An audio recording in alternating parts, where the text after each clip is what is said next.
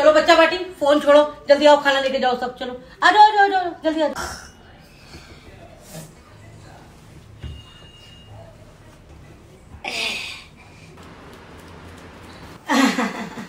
सोई थी मेरा इतना गला सूखा ना मैंने कहा पानी पी के आती हूँ।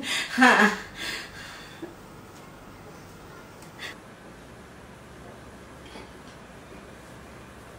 आम खाएगा? वो आम काट के रख दिए डाइनिंग टेबल पे। अच्छा काटती हैं? चल ठीक है। जाओ बच्चों डाइनिंग टेबल पे बैठो मैं खाना लेके आती हूँ। जाओ। घी लगाया है मैंने।